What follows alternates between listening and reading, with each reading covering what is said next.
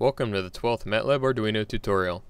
This video will cover how to connect and calibrate a 3-axis digital magnetic compass. We will be using the LSM303 DLM sensor module, which is a digital 3-axis accelerometer and a 3-axis magnetometer. The accelerometer has three selectable ranges. Though this tutorial will only cover how to read from the magnetometer values, accelerometer functionality can be added in a similar fashion and calibration can be seen in tutorial 2. Accelerometer and magnetometer sensor data can be combined to create a tilt-compensated compass. The magnetometer has seven magnetic field full scales, ranging from plus or minus 1.3 to 8.1 Gauss.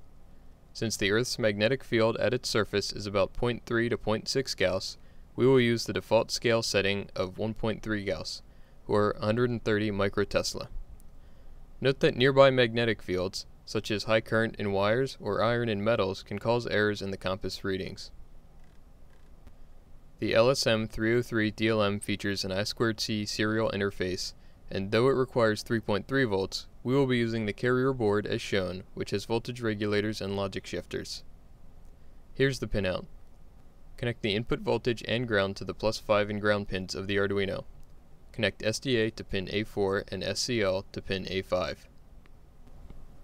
Let's look at how to interface this sensor with the Arduino. First, include the I2C library with this line.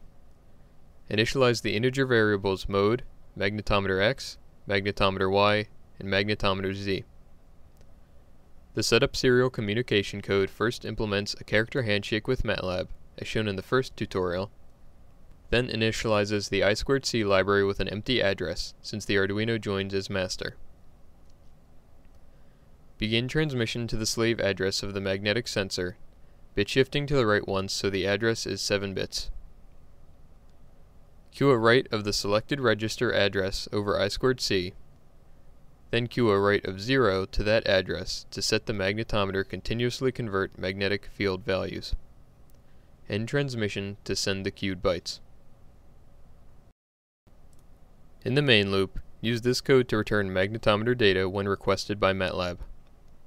Read the serial data into the variable mode and implement a switch for case M. Get magnetometer values is a function that returns magnetic field readings. Send the readings in Gauss over the serial port to the computer. After the loop, define the function getMagnetometerValues. Again begin transmission to the 7-bit magnetic sensor address, and queue 1 byte to select the first data register address.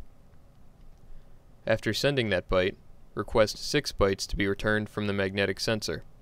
This will return data from the first register address specified, and then the next 5 sequential register addresses. The order of the axes returned is X, Z, Y, due to the respective register addresses.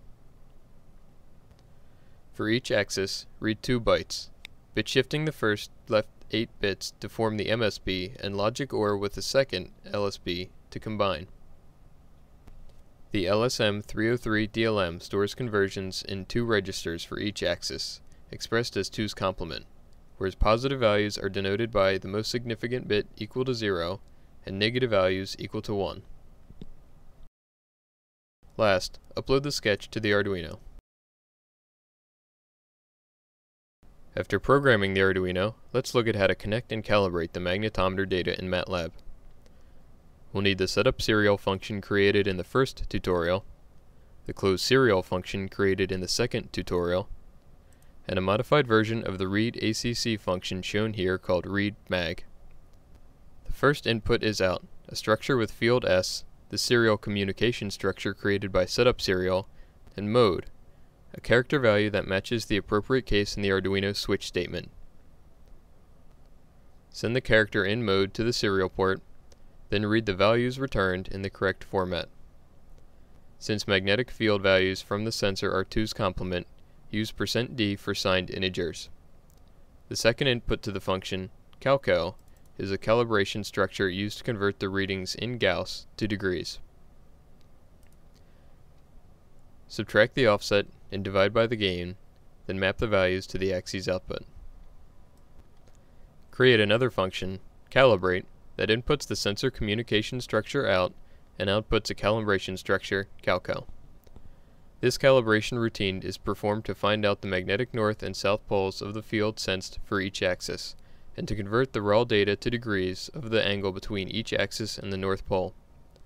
This could easily be done with a reference compass to identify north and south directions where magnetometer readings are at a maximum and minimum, respectively. If another compass is not present, this algorithm will find the max and min of measured values as the sensor is rotated.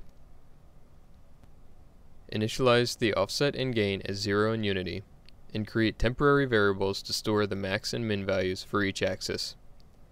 This line opens a wait bar to show the progress of the function to the user. Use the tic function to start a stopwatch timer, and enter a stop time.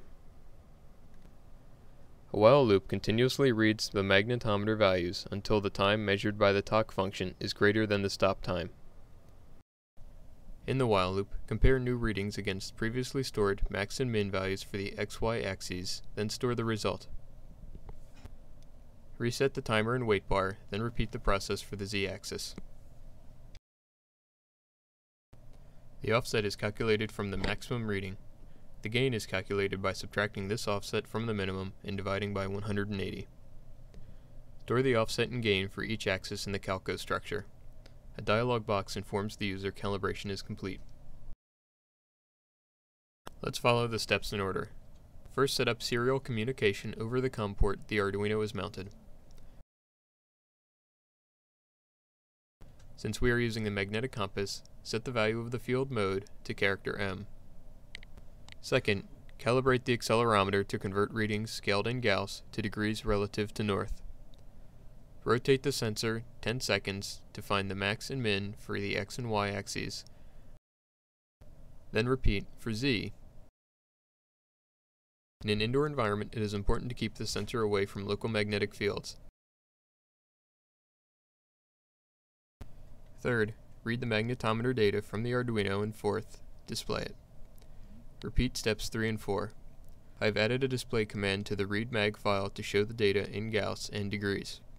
With the z-axis oriented towards north, the angle is approximately 0. Turning the sensor towards south, the angle read is approximately 180 degrees. Note that without additional sensors such as a gyrometer or accelerometer to determine absolute orientation, I am unable to tell whether I am turning east or west from the data and have a range of 180 degrees instead of a full 360. When finished, close the serial port. Thank you for watching. Please visit matlabarduino.org for more videos.